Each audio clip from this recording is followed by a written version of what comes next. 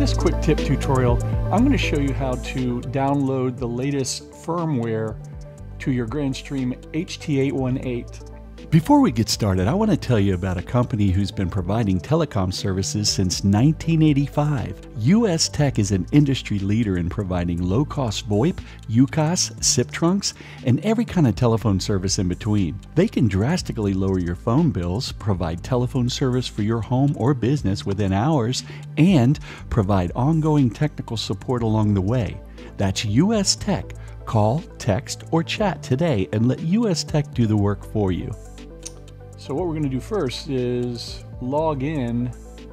And if you want to know how to log in to your device and how to program one, look at the other video that I have in the description. I'll, I'll leave a link there and uh, you can look at uh, how to log into your Grandstream. You can look at how to provision your Grandstream, how to provision it for different kinds of situations like alarm lines, um, or credit card machines or fax machines. There's all kinds of videos that I've uh, made for those situations. So take a look in the description, you'll find them all there. And don't forget to like and subscribe if this has uh, been a blessing to you. Okay, I'm going to log in with the default login is admin admin. We'll see here that our latest firmware is 1.0.4.33. So what you want to do is go to grandstream.com forward slash support forward slash firmware. And then you're going to see them all up here. Um, what you want to do is scroll down to ATAs. Uh, where?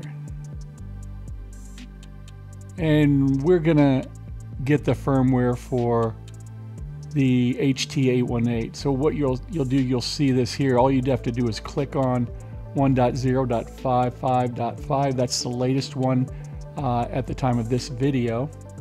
So we click on that, downloads to my computer. We will open it on the computer and we're going to extract all into a folder and here it is here. So now what we want to do, go to advanced settings and we're going to scroll down to upload firmware.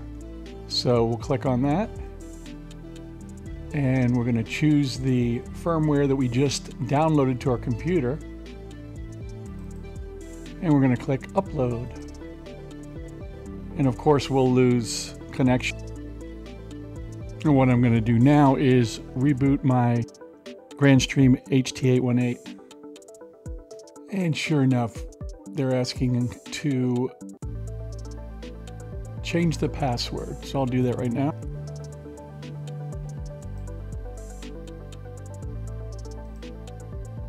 And you'll see, sure enough, the new software version is up to date 1.0.55.5 at the time of this video that's being made. Don't forget, if you like this video and you like the content that I'm making, please like and subscribe so I can bring you a lot more content. I love making these videos and uh, hopefully it's a blessing to you. So um, that's all there is to it.